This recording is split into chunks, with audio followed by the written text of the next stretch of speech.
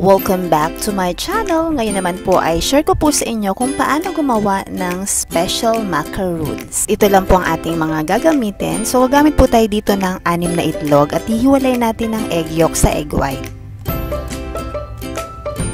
And then ibibit po natin ng egg yolk.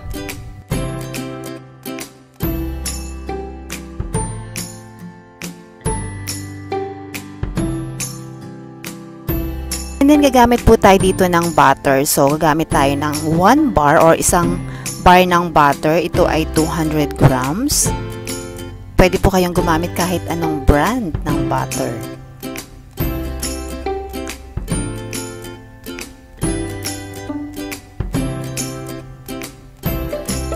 Ayan, so ibibit po natin ito hanggang ma-achieve natin ang ganitong texture. Then maglalagay tayo ng 400 grams ng white sugar.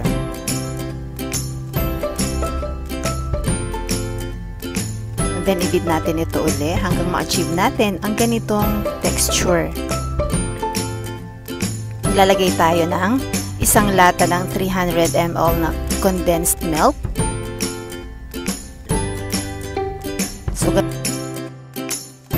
So, ganun pa rin, ibit natin ito hanggang sa ma-achieve natin ang ganitong texture. And then, maglalagay po ako dito ng whole egg, dalawang whole egg. So, kasama yung egg yolk and egg white.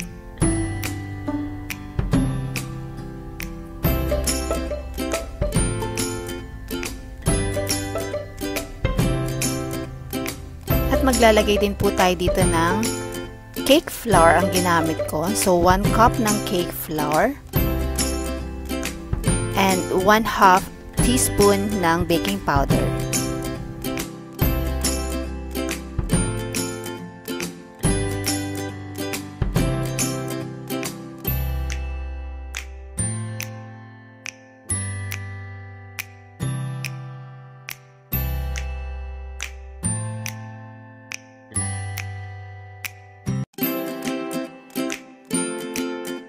Okay, after nating masala ay imimix po natin ito para mag-combine ang lahat ng ingredients natin hanggang ma-achieve natin ang ganitong texture.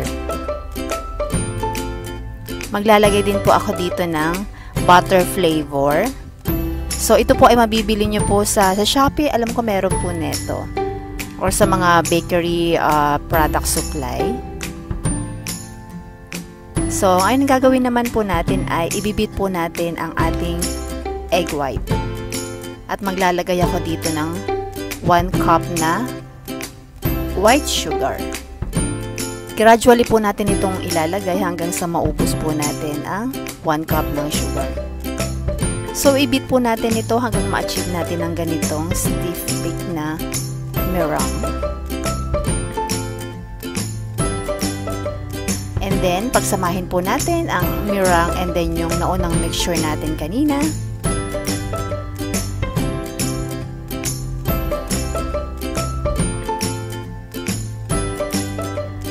So, ayan, haluin muna natin.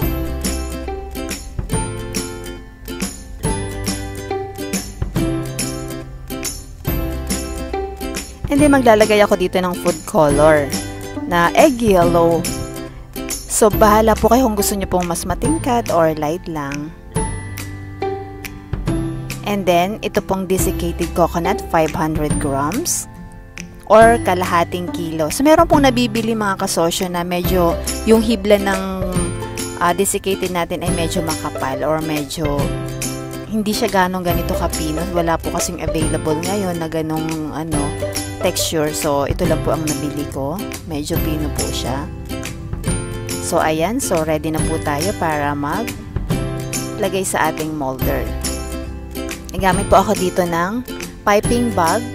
So, hindi na po ako gagamit ng piping tip. Ganito na lang po. Para yung mga walang available na piping tip, pwedeng ganito na lang.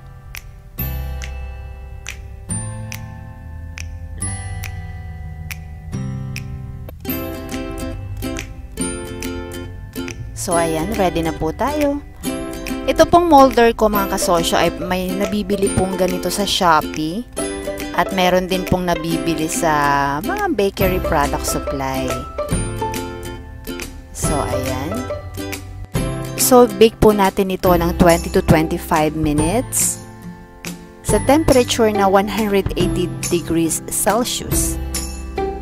Ito na nga po, luto na po ang ating macaroons. Ano nakagawa po tayo ng 120 peraso na macaroons.